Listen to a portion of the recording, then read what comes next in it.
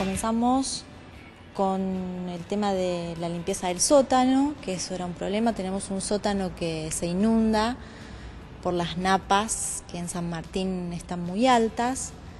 Entonces es nuestro primer desafío dentro de la obra poder resolver este problema de bueno, bombear el agua, como es un sótano que estuvo deshabitado por muchísimo tiempo, mucha basura, mucha humedad, tenemos que desinfectar toda esa zona y bueno, eso nos está llevando bastante trabajo. Una vez terminado el trabajo, vamos a poder comenzar con la obra de recuperación de la pileta del natatorio. Lo vamos a reciclar integralmente, todos los revestimientos, bueno, la pintura, el aire acondicionado, pero hasta que no tengamos este subsuelo habilitado para poner los equipos que sostienen a todo el sistema de calefacción de, de, la pileta, estamos en ese proceso. El trabajo en la pileta está encarado como un reciclado integral, vamos a mantener la estética del lugar, vamos a cambiar los revestimientos que están vetustos, el revestimiento de la pileta, de los azulejos, vamos a cerrar toda una gárgola perimetral que tiene, la vamos a tapar